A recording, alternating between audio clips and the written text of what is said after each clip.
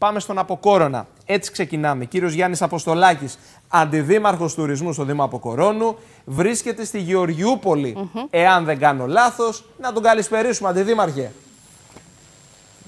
Καλησπέρα σας και στους τηλεθεατές σας.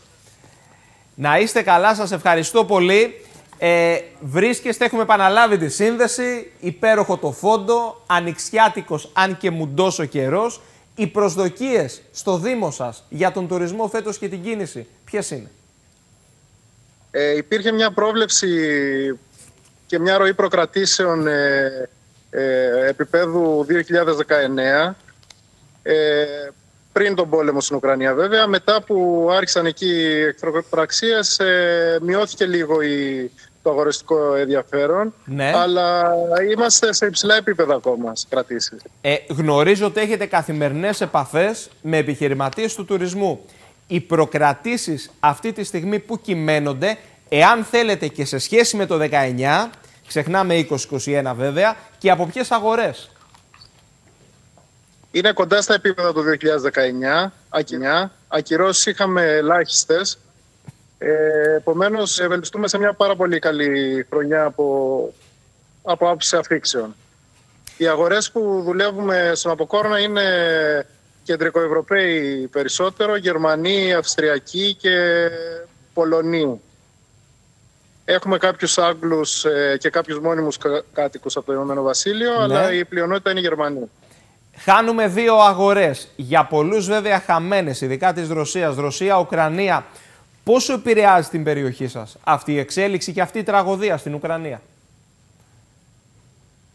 Ε, υπήρχε ένα γύρω στο 10% ένα ποσοστό Ναι. από Ουκρανία και Ρωσία σε κάποια ξενοδοχεία στην περιοχή, το οποίο ευελπιστούμε ότι θα καλυφθεί από τις υπόλοιπες αγορές.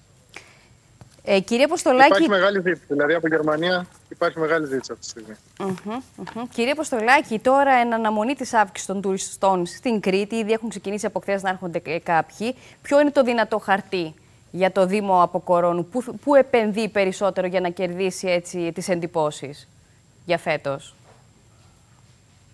Ο Αποκόρονας ε, επενδύει σίγουρα στο, στο μοντέλο ήλιος θάλασσα του Βόρειου Άξονα όπως ε, και οι άλλοι δήμοι και έχουμε και το υπέροχο φυσικό κο- περιβάλλον. Έχουμε τη λίμνη του Κουρνά, έχουμε το ποταμό Κιλιάρη, έχουμε, έχουμε πάρα πολύ ωραία την όμορφη Μαδάρα μας, τα Λευκά Όρη.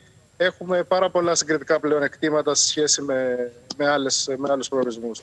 Και βέβαια να αξιοποιήσετε, Αντιδήμαρχε, έχετε εκπονήσει και μια καμπάνια και τα πηγαίνετε περίφημα και τον θεματικό τουρισμό.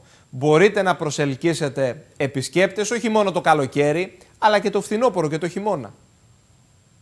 Στο θεματικό, στο θεματικό τουρισμό έχουμε κάνει άλματα, θα μπορούσα να πω. Ναι. Ε, έχουμε επιστοποιήσει 11 πεζοπορικές διαδρομές ε, μέσω του Path of Greece, ε, οι οποίοι ευελπιστούμε ότι μαζί με άλλες διαδρομές που θα γίνουν ε, στους υπόλοιπους δήμους θα, μπορεί, θα μπορούν τα Χανιά να είναι περιπατικός προορισμός.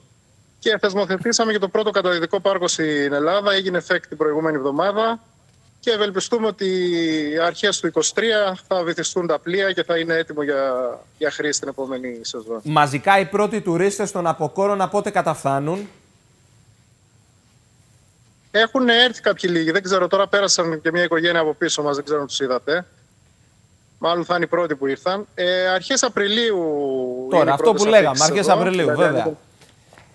Αρχές Απριλίου με αποκορύφωση εκεί μετά το αρχές Μαΐου, μετά τις 10 Μαΐου με τέλος Οκτωβρίου. Αντιδήμαρχε, να σας ευχαριστήσουμε πολύ. Έχουμε τη δυνατότητα να δούμε λίγο εικόνα από πίσω και να κλείσουμε τη σύνδεση έτσι; Ναι, ναι. Βέβαια. Μισό λεπτάκι να σηκώσω. Λοιπόν, έτσι κλείνουμε λοιπόν τη σύνδεση με τον Αντιδήμαρχο. Δεν μας χαλάει χατήρι, τα έχουμε ξαναπεί.